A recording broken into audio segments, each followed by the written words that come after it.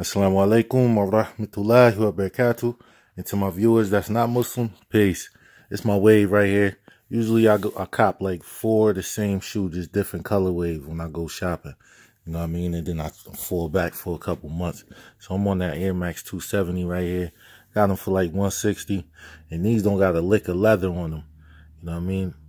Got this type of material. But they fit the foot well. This bubble back here definitely hold you up. And I made this hoodie to go with them. Called the ketchup and mustard. Like I said, I got a couple other colors.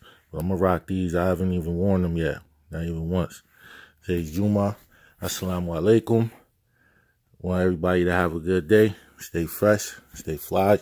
Get in the gym. And drink that water. Gone.